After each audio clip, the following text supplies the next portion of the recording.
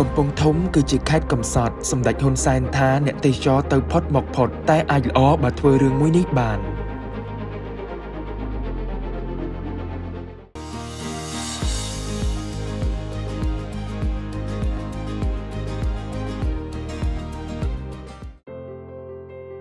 កំពង់ធំគឺជាខេត្តនៅចំចំណុចកណ្ដាលនៃប្រទេសកម្ពុជាបើចង់ឆ្លងកាត់ទៅកាន់ខេត្តផ្សេងផ្សេងទៀតគឺត្រូវឆ្លងកាត់ខេត្តកំពង់ធំហើយនាពេលថ្មីថ្មីនេះក៏មានគម្រោងសាងសង់ស្ពានដែលភ្ជាប់ពីទន្លេមេគង្គមកទន្លេសាបពោលគឺភ្ជាប់រវាងខេត្តក្រចេះមកកាន់ខេត្តកំពង់ធំ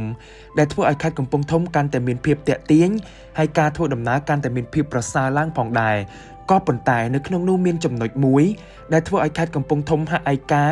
នោះគឺភ្ញៀវទេសចរភាគច្រើនគឺទៅផុតមកផុត ដោយនៅក្នុងនោះការពីពិធីបុណ្យទន្លេលើកទី7កន្លងមកសម្ដេចហ៊ុនសែនក៏បានលើកឡើងផងដែរថាវិស័យទេសចរខេត្តកំពង់ធំ គឺជារឿងមួយលំបាកពីព្រោះភ្ញៀវទេសចរគឺទៅផុតមកផុតហើយសម្ដេចក៏បានបញ្ជាក់ផងដែរថាការវិនិយោគទៅលើសន្តាគារគឺជារឿងដ៏លំបាកមួយសម្រាប់ខេត្តកំពង់ធំក៏ប៉ុន្តែអាចនឹងល្អសម្រាប់អាហារដ្ឋានដូច្នេះមានន័យថាភ្ញៀវទេសចរឬក៏អ្នកដំណើរដែលឆ្លងកាត់ខេត្តកំពង់ធំភាគច្រើនគឺមិនស្នាក់នៅក្នុងខេត្តកំពង់ធំនោះទេ បានត្រឹមតែឆ្លងកាត់ដូច្នេះបើសិនជាមានការវិនិយោគទៅលើសន្តាគារអាចនឹងពិបាកនិងមិនអាចទទួលបានផលចំណេញទៅវិញច្រើនក៏ប៉ុន្តែអ្វីដែលជាចំណុចសំខាន់នៃការឆ្លងកាត់របស់ភ្ញៀវទេសចរទាំងអស់នោះដែលយើងអាចតាក់ទាញឲ្យទាញផលវិជ្ជមានផលល្អមកកាន់ខេត្តកំពង់ធំវិញបានគឺរកភាពច្នៃប្រឌិតឬក៏រកចំណុចពិសេសតាក់ទងជាមួយនឹងការបម្រើចំណីអាហារឬក៏ការបើកជាអាហារដ្ឋានដែលនៅក្នុងនោះសម្ដេចក៏បានភ្ជាប់ជាមួយនឹងការណែនាំឲ្យអាជ្ញាធរខេត្តកំពង់ធំ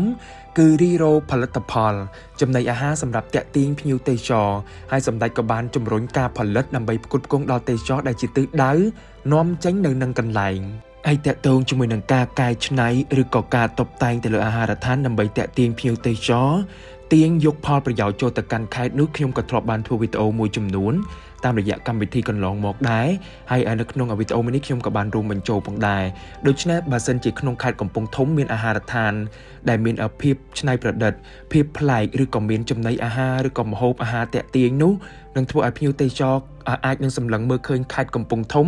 ចំណាយពេលយូរនៅក្នុងខេត្តកំពង់ធំហើយនេះក៏ជាចំណុចមួយធ្វើឲ្យខេត្តកំពង់ធំលេចធ្លោផ្នែកទេសចរផងដែរបើទោះបីជាភ្ញៀវទេសចរបានត្រឹមតែឆ្លងកាត់ក៏ដោយ ដូច្នេះសង្ឃឹមថាខេត្តកំពង់ធំនឹងរកចំណុចពិសេសមួយនេះឃើញហើយសង្ឃឹមថាអ្នកវិនិយោគទាំងអស់អាចនឹងសម្លឹងខេត្តកំពង់ធំដើម្បីបង្កើតទៅជាកន្លែងកំសាន្តឬក៏អាហារដ្ឋាន